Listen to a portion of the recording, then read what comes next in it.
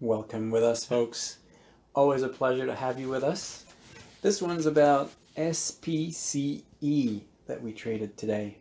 The ticker was extremely bullish after a successful flight on Saturday, after a neutral from uh, from neutral to outperform upgrade this morning, and after an increasing amount of volume, if you see from right here, this was Thursday and Friday. These were big volume bars from these two bars here were Friday and Thursday and Friday. So increasing volume ahead of the flight and after the flight you get an upgrade. We're bullish on this. Now, uh, many of you got stopped out I believe many of you are trading with a P&L attached to your um, computer and you're only watching your P&L. Now I'll show you how to rely more on a stop loss that will be dictated by support level or price level. Now let's see this again.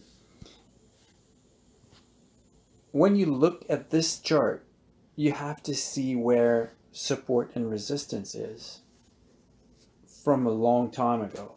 We're not only looking at today or intraday or see this we had broken above this line here right when the market opened and we were above this line so basically this line is an old line that we have to be above or under right and now let me put this line for you. So it's really close to 2375. Bottom, top. Let's scroll back to see how this works. Oh, again, top. Um, right here uh, in the middle of my screen, you see it's holding as support. Just before in October, it was resistance. Let's, let's scroll back again see how it goes.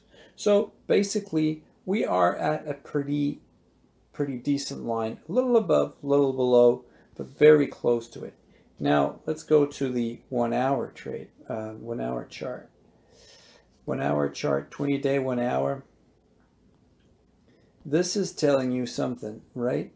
It's telling you that it was resistance, went a little bit, a little above it, and then it started coming down.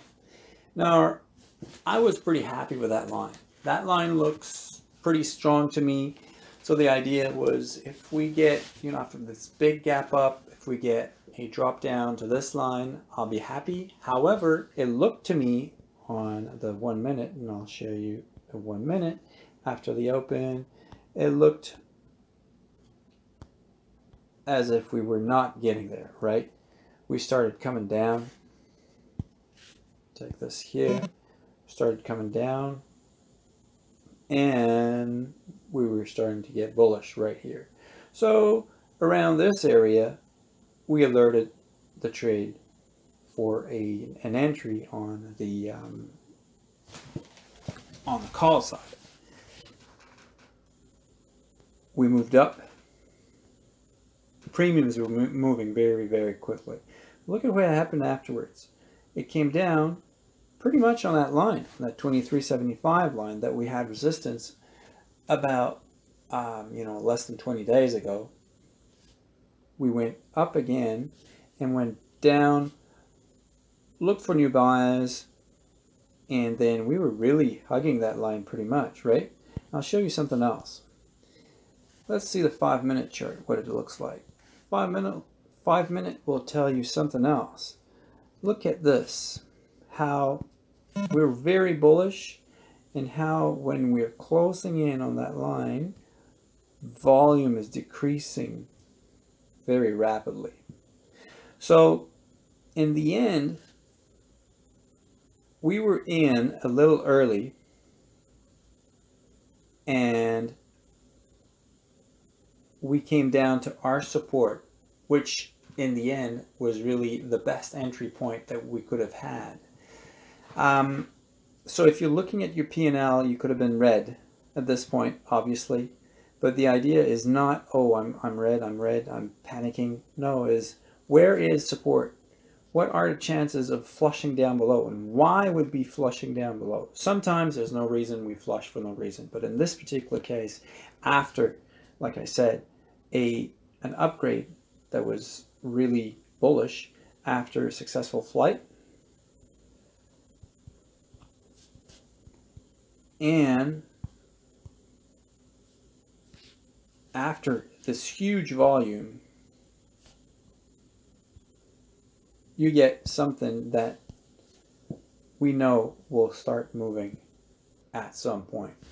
So um, once you're in and you're looking at possibilities of um, having something that is bullish or bearish, you can also look at who else is buying.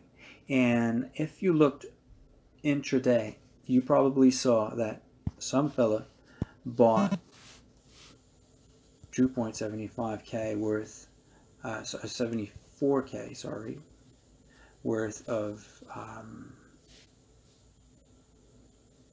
38 options, 38 calls for somewhere in hmm, October.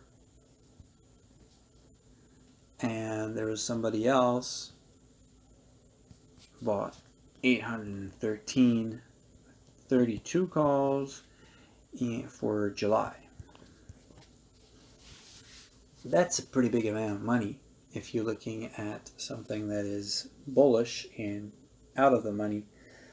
Both of these people were, in my opinion, uh, and this particular guy was above the ask. And that makes it, above the ask, makes it a lot more bullish than you can think of. So basically these were all traded at around 10 o'clock. Better entry than we had. However, you, you see that people are bullish when we start getting there. And in the end, it started to be ramping up. So we ended up entering a little early. However, the target was still the same. My first target was the test of that pre-market. You know, we, we, we were bullish, became bearish, and we stopped right at this point. Well, I suspect that this point is going to be tested again, which happened, right? So this first target, first exit, and then we ended up selling half of the remaining position at 100% and keeping the rest for a possible ramp up on the next few days. But we were in the money, everyone was happy and the idea was to get to 25 because we were playing the 25 calls for this week and this is a simple explanation of how you need to determine ahead of time where your stop loss will be not a percentage point but literally a line in the chart that you're happy with Sometimes it will dip a little below, but you need to be very strong about your line, knowing where it is and knowing where to exit. Because knowing where to enter is one thing, but knowing where to exit is where the money is. I hope this help this helps you out, and I'll, I'll see you again shortly for a another great win. Take care, folks. Nice to have you with us.